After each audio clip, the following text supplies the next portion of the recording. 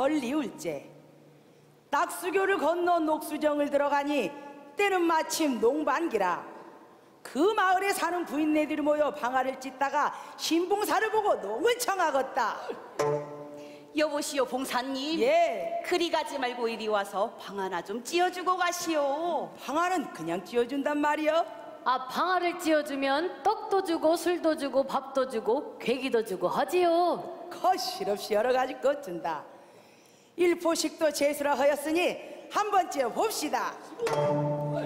신봉사가 방아 위에 올라서서 방아 소리를 매기며 한 번째 보란디.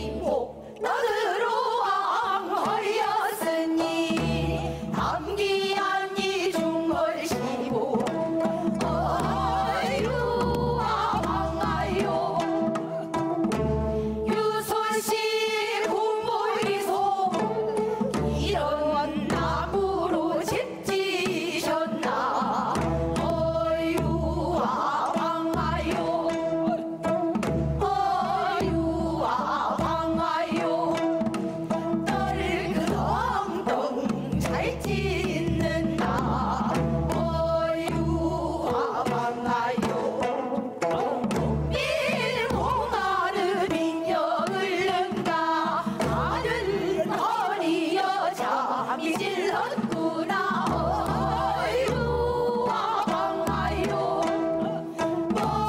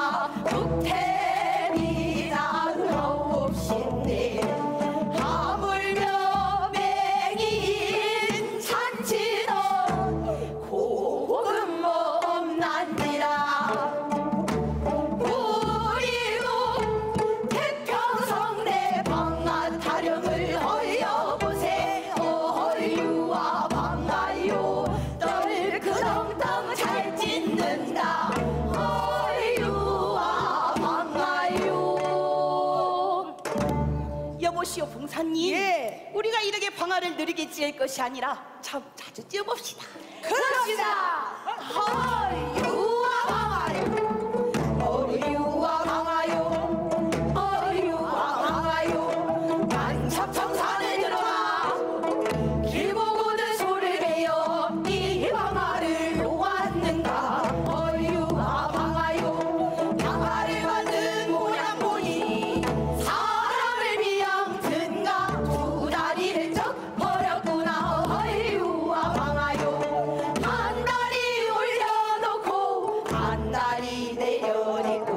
Put it out.